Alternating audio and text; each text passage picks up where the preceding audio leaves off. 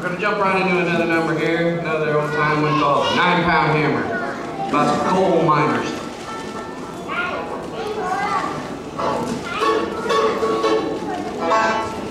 Thank you.